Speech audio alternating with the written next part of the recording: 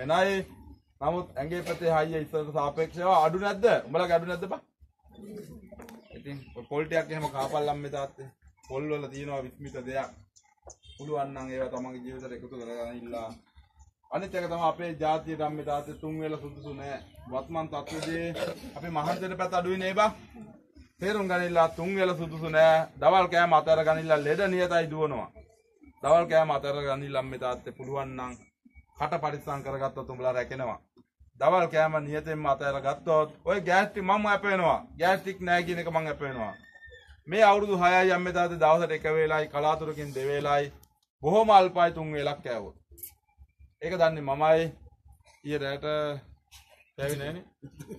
ඊයේ රැට කාලත් නැතුව බොල මේ ඉන්නේ. ඉතින් කෝ ගෑස්ට්‍රික් කෝ බං මේ මැරලා වැටෙන්න එපා බහමතේ වැටෙන්න එපා. මේ උදේටත් කාලා නැතුව මේ පැය ගන්න මේ හිටන් හිටියේ. ඈ උඹලා හිතන්නේ මොනවා හරි කාලා ගන්න නෑ බං. මන්නේ දන්නේ අද මොකුත් කෑවේ නෑ. ඊයේ රැටත් කෑවේ නැතුව බන් නිදාගත්තා. ඈ?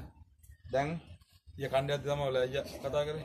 එතනින් යන්න ගියා කණ්ඩ යන්න යනකොට ඔයාලා අයියට අමාරුලා ගියා. ඒ ගිහලා මොකද දැන් හොඳද ඊයේ එතන හොඳ වුණා. දැන් මෙහෙම විදිය පෑගත්තා ඒ එතනින් එහෙම මම අත දාගෙන ගියා එහෙම නිදාගත්තා. ඊයේ රැටත් නෑ බලා මේ උදේටත් නෑ. කොහොම එක මැරෙන්න වැටෙන්න එපා බං. මේවා බොරු මායාවල් බං ඉතින් අතර ගනිලා කණ්ඩ ඉපදුණු જાතියක් තමයි අද අපි වත්මන් තත්ත්වයේදී මිදියල්ලා පොඩ්ඩක් දවල් කෑම අම්මේ තාත්තේ පුළුවන් තරම් ඈත් කරගනිලා දවල් කෑම අතරියොත් උඹලගේ ඇඟේ පුදුමාකාර සුවයක් උඹලට දැනෙයි. එක සතියයි මාසයයි නියතයි කරලා බලපල්ලා. සතියක් කරලා බලන්නකො මං කියනවා. ඊට පස්සේ ප්‍රතිඵල නැත්නම් උඹලා අයින් වෙලා ආයෙ තුන් වෙලා කාපල්ලා. දවල් වේල පුළුවන් නම් උඹලා අතර ගනින්නකෝ උදේට කාලා රෑ කාපල්ලකෝ.